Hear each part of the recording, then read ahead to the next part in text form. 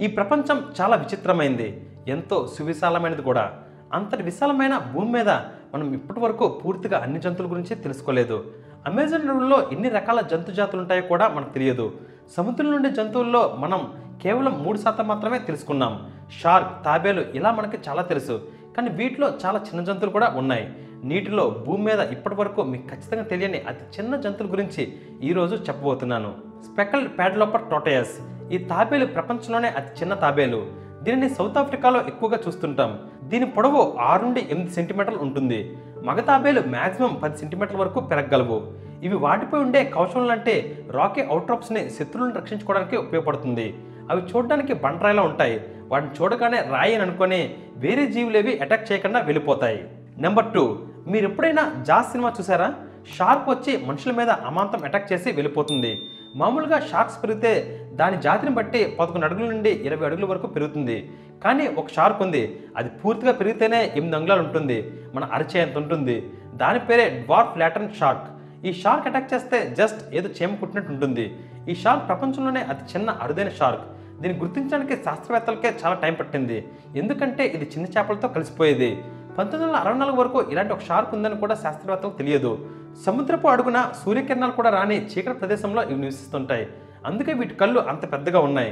లో లైట్లో కూడా బాగా చూడగలిగే విజన్ వీటికి ఉంటుంది నెంబర్ త్రీ పీడో కైప్రిస్ ఇది ప్రపంచంలోనే అతి చిన్న చేప.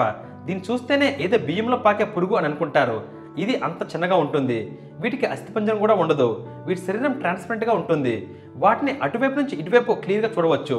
ఇది దక్షిణాసియాలోనే బోర్నియో సుమట్రా అండ్ బింటన్ ఐలాండ్స్లో కనిపిస్తుంటాయి. వీటిలో ఆడచేప ఏడు పాయింట్ తొమ్మిది మిల్లీమీటర్ల పొడుగుంటుంది. వీటిలో పొడవైన చేప దాదాపు పది మిల్లీమీటర్లు మాత్రమే ఉంటుంది. నెంబర్ ఫోర్ పిగ్మీ ర్యాబిట్ అమెరికాలో ఉండే ఈ కుందేలు ప్రపంచంలోనే అత్యంత చిన్నవి. వీటి పొడవు మన అరచేతిలోనే రెండు కుందేలు చాలా కంఫర్ట్గా కూర్చునేంత.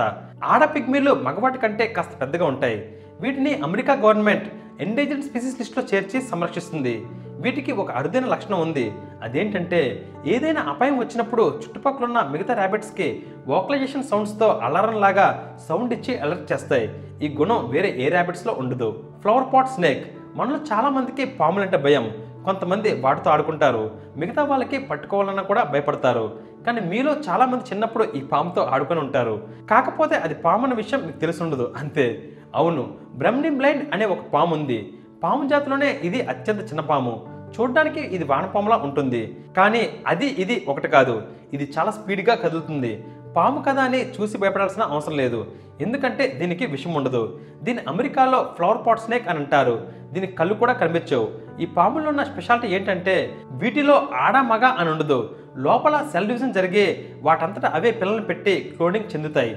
అందుకే దీన్ని ఎగ్స్ని అన్ఫెర్టిలైజ్డ్ ఎగ్స్ అని అంటారు. నెంబర్ సిక్స్ మీకు సుందరకాండలో హనుమంతుడు లంకలో దిగాక చిన్న కోతుల మారడం గుర్తుంది కదా?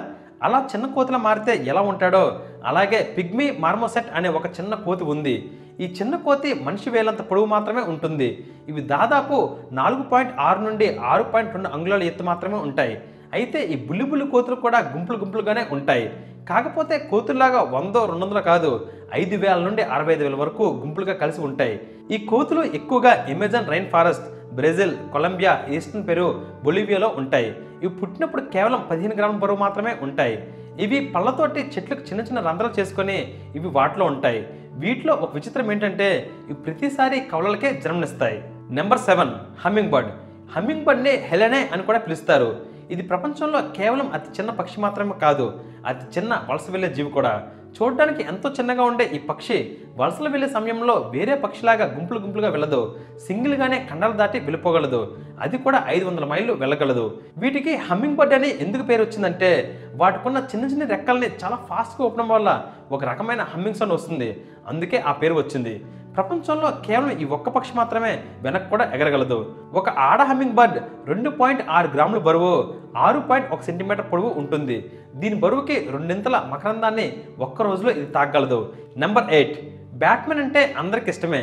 కానీ మనకి పాండమిక్ వచ్చాక బ్యాట్స్ అంటేనే అందరికీ భయం వేస్తుంది. Kitti's hog nosed bat. ఈ గబ్బిలం అతి చిన్నది. ఇవి అధికంగా థాయిలాండ్ బర్మాలోని సున్నప్రాయ గుహలలో జీవిస్తుంటాయి. వీటి పొడవు ఒకటి పాయింట్ ఒకటి నుండి ఒకటి పాయింట్ మూడు అంగుళాలు ఉంటుంది. బరువు వన్ పాయింట్ ఫైవ్ నుండి టూ గ్రామ్స్ వరకు ఉంటాయి.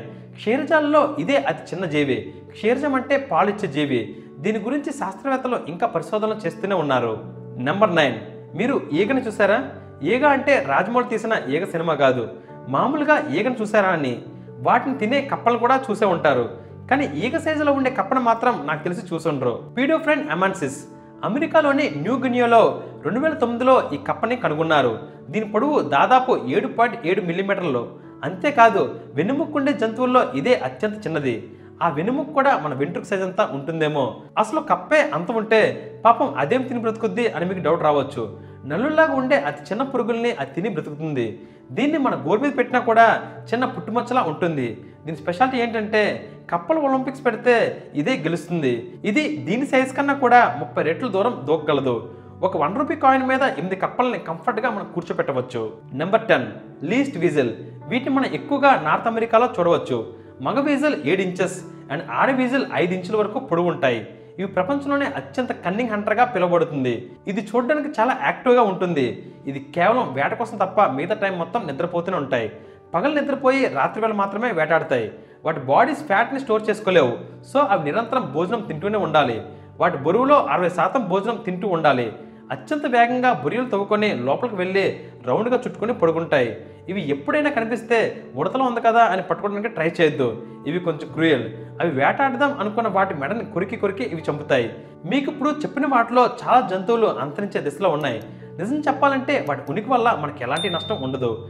కానీ మనం ఉండడం వల్ల వాటికి చాలా నష్టం జరుగుతుంది. వాటి జీవనశైలిని మనం పొల్యూషన్ రూపంలో ప్లాస్టిక్ రూపంలో ఇబ్బంది పెడుతున్నాం. ఇవి చాలా చిన్న జీవులు. మహా అయితే వాటి జీవితాలు కూడా రోజులు వారాల్లో ఉంటాయి. ఆఖరికి మన లైఫ్ స్టైల్ ఎలా అయిపోయిందంటే వాటిని కూడా మనం దోచుకుంటున్నాం. వాటి ఆవాసస్థలాన్ని దోచుకుంటూ వాటి నీరు ఆహారం లేకుండా చేసి వాటిని చంపుతున్నాం. నాకు తెలిసి ఈ భూమి మీద ఉన్న ప్రతి జంతువుకి ఏకైక శత్రువు మనిషి అనుకుంటా.